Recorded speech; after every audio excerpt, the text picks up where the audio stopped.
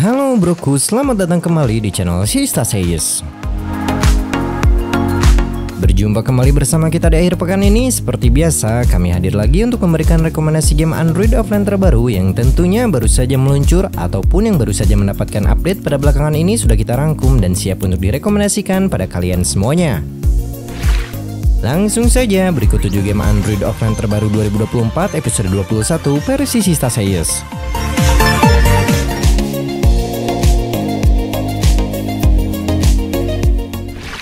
City Sims Life and Work.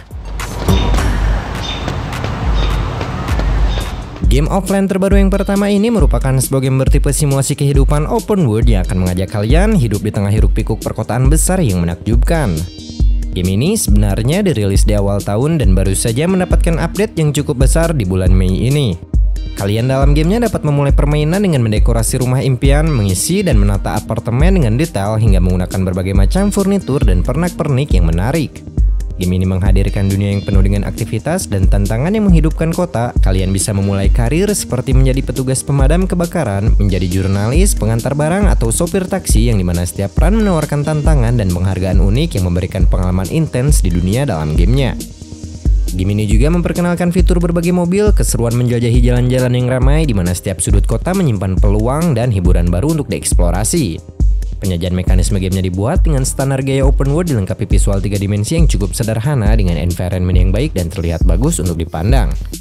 Ya, secara keseluruhan game ini adalah pintu gerbang menuju kehidupan baru dan kemungkinan dan petualangan tanpa batas. Jadi bangunlah jalur kehidupan baru, kembangkanlah karir, dan nikmatilah kehidupan kota yang banyak aktivitas seru dalam game ini.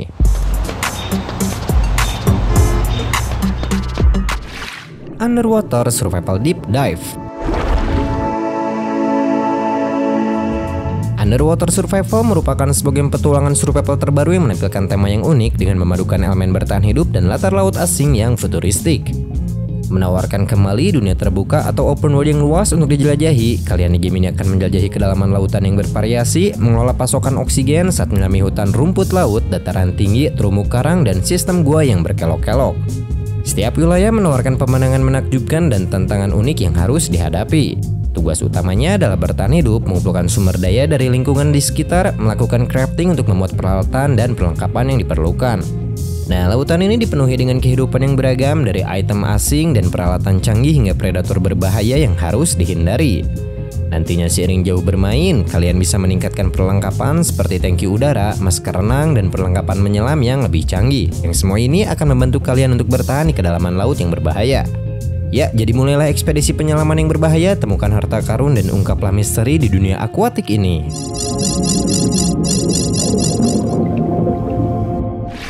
The Enchanted World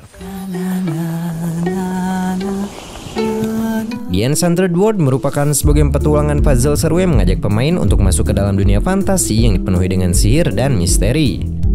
Dalam gamenya, player akan membantu karakter utama yaitu seorang peri muda untuk memulihkan dunia yang telah hancur oleh kekuatan kegelapan. Nah, kalian akan menjelajahi berbagai lokasi magis dari hutan yang mempesona, padang rumput hingga gua misterius dengan siap tantangan teka-tekinya yang seru. Game ini menawarkan berbagai puzzle yang harus kalian selesaikan. Setiap puzzle-nya dirancang dengan cermat untuk menguji kecerdasan dan kreativitas para pemain. Seperti kalian harus mengotak-atik jalur atau menggeser-geserkan tanah agar sang karakter bisa terus melaju menuju titik berikutnya.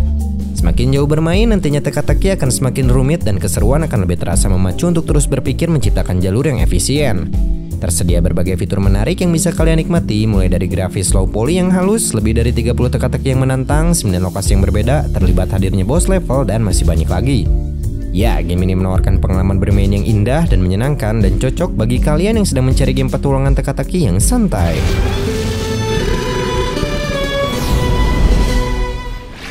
RPG Alphadia 1 and 2 merupakan seri game role playing klasik terbaru yang dirilis di Android oleh Kemco. Game ini menawarkan pengalaman RPG yang memikat dengan alur cerita yang mendalam, karakter-karakter beragam, dan sistem pertarungan berbasis giliran yang seru. Menariknya, dua seri RPG Alpadia ini dapat dimainkan dalam satu aplikasi saja memberikan kenyamanan dan kesinambungan dalam petualangannya. Dalam Alphadia seri pertama, kalian akan dibawa ke dunia yang penuh konflik antara dua kerajaan besar yaitu Sword Child dan Energy.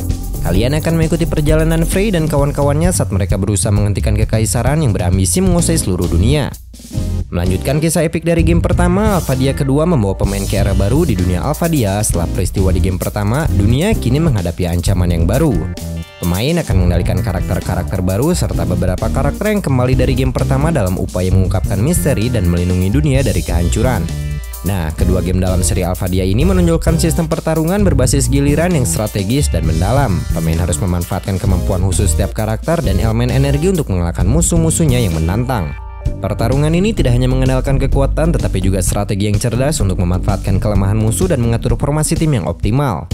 Ya, teruntuk kalian penggemar game pixel retro lawas dan menyukai gaya RPG klasik yang intens dengan kisah yang kompleks, game besutan Kemco terbaru ini harus kalian coba.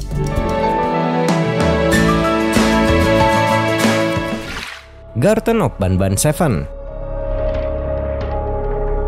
I don't think you understand. Merupakan sequel game horor terbaru yang sudah cukup populer dan banyak digandrungi juga. Game ini menawarkan pengalaman seram yang mendalam dengan elemen-elemen puzzle yang menantang dan ceritanya yang mengerikan.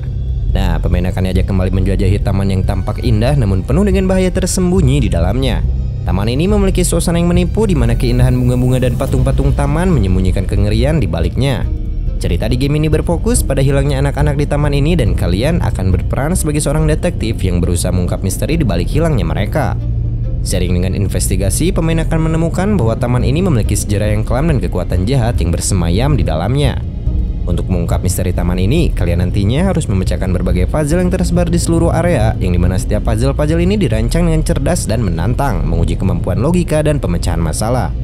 Ya, game horor petualangan ini menawarkan pengalaman seram yang intens dilengkapi konsep yang imersif membuat semuanya terasa cukup mencekam dan memacu adrenalin saat dimainkan.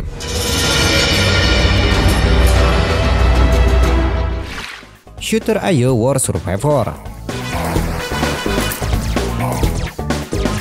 merupakan sebagai run and guns yang dirilis tahun lalu namun kini telah mendapatkan kembali update di bulan Mei ini. Ada penampilan lawas yang akan mengajak kalian untuk bernostalgia menikmati perpaduan sempurna antara game arcade retro dan sensasi pertempuran modern. Dalam gamenya, kalian akan merasakan nostalgia dengan gaya seni pixel yang mengingatkan kita pada game arcade masa kecil seperti Jackal ataupun Metal Slug. Player akan mengambil peran sebagai pahlawan terakhir yang harus bertahan melawan pasukan musuh yang kuat. Yang seperti khasnya game roguelike point ayo, misi kalian adalah bertahan menembak para musuh dan terus tingkatkan kemampuan karena permainan akan lebih seru.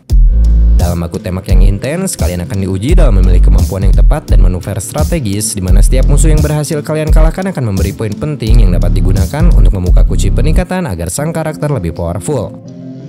Ya, bagi kalian yang sedang mencari sensasi pertempuran modern dilengkapi penampilan klasik yang terasa nostalgic, pastinya game ini juga worth it untuk kalian mainkan.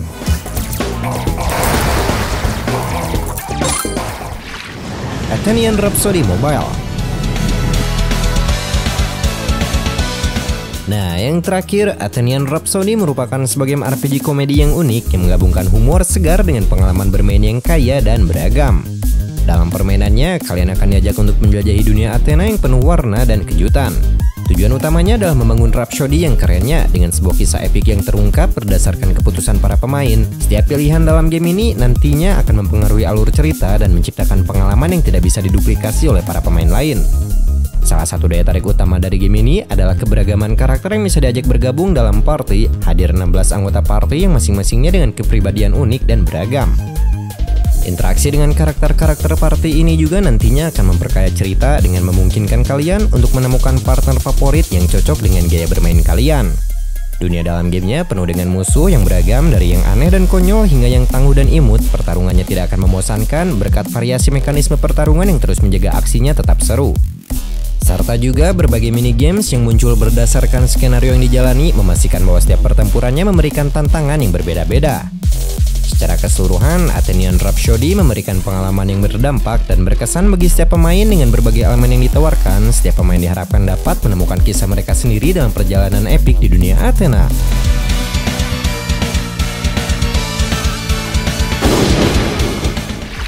Itulah 7 game Android offline terbaru 2024 episode 21 menurut kami.